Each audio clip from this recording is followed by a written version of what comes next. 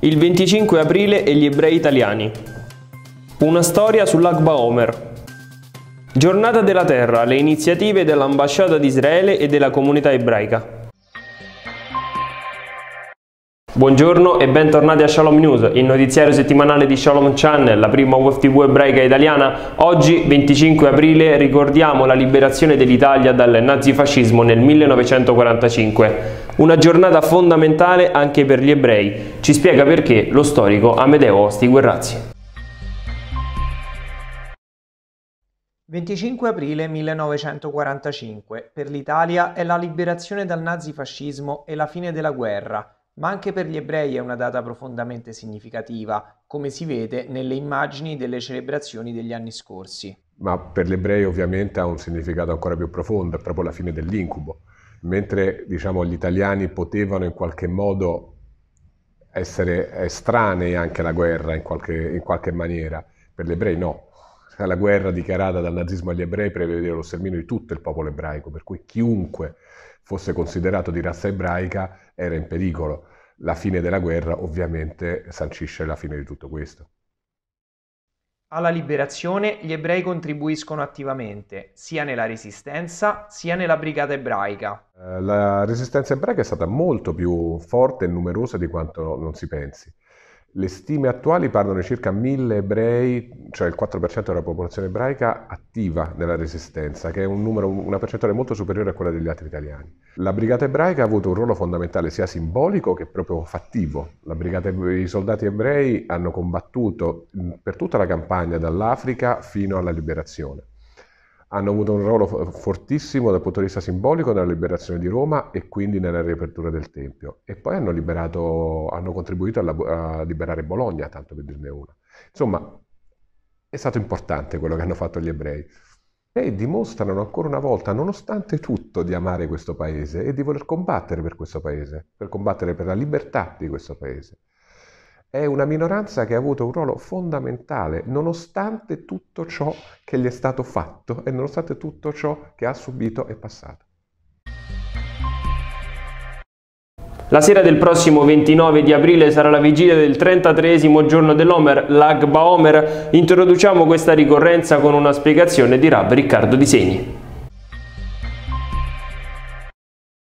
L'Agba Omer è un giorno allegro in cui si sospendono le manifestazioni di lutto di queste sette settimane dell'Omer tra Pesach e Shavuot che separano l'inizio della mietitura dell'orzo dall'inizio della mietitura del grano. Una giornata dai molteplici significati che in Israele è molto sentita e celebrata anche con un pellegrinaggio a Meron, in Galilea, dove sta la tomba di Shimon Bar Yochai.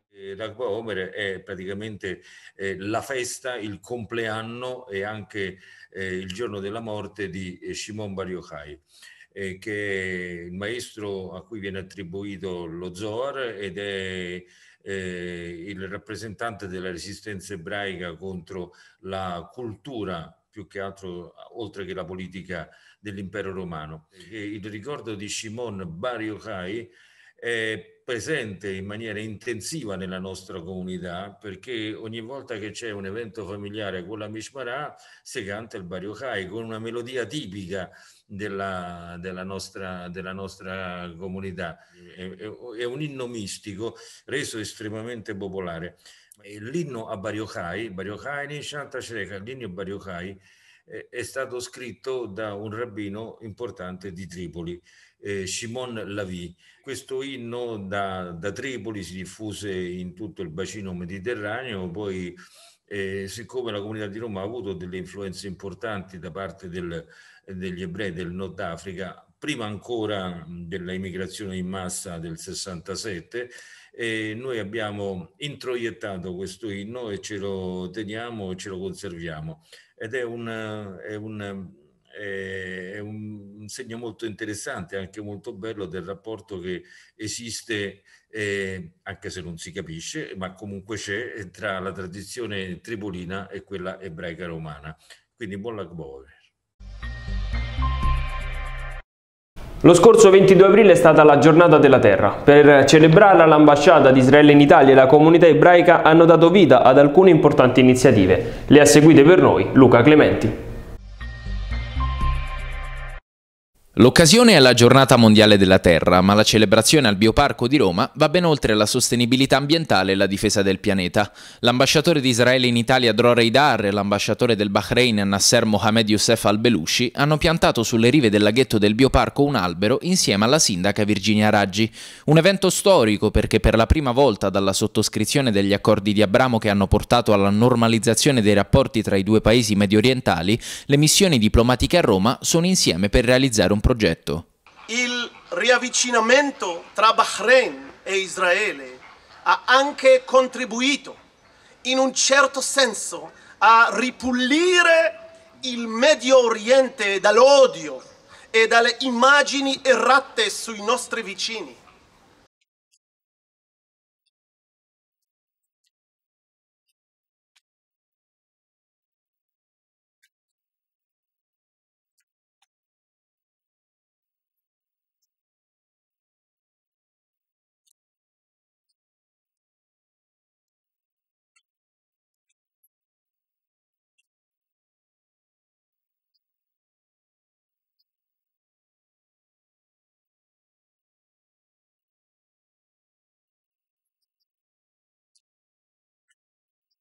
L'impegno del mondo ebraico per la giornata mondiale della terra è proseguito poi nel corso della settimana con la piantumazione di un albero in piazza Cairoli, nel cuore della capitale.